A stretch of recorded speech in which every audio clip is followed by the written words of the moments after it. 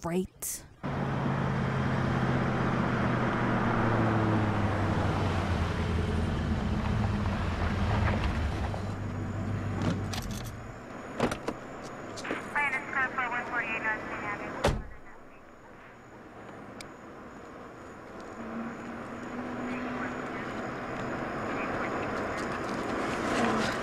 I hope there's not a problem, officer.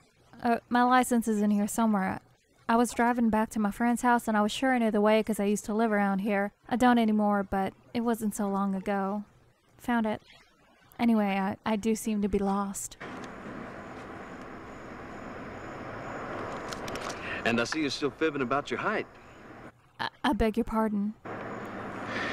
That is, unless you grew an inch since you moved to New York City. Dean?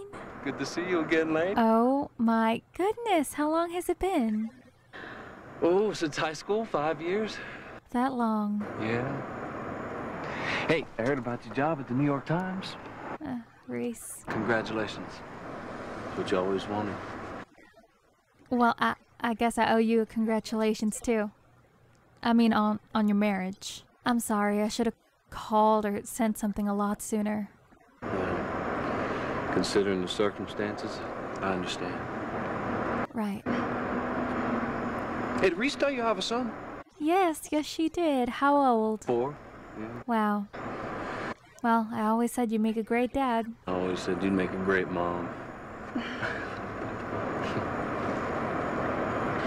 anyway, look, uh, I was gonna make this a warning, but uh, you ran a stop sign at that last crossing, and that's why I pulled you over.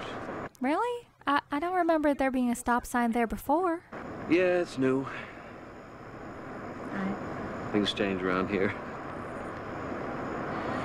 Anyway, you're not as lost as you think. If you just go down the second traffic light and make a left, mm-hmm. you'll find Reese's place. About three blocks down. Okay, thank you. You take care now. You too.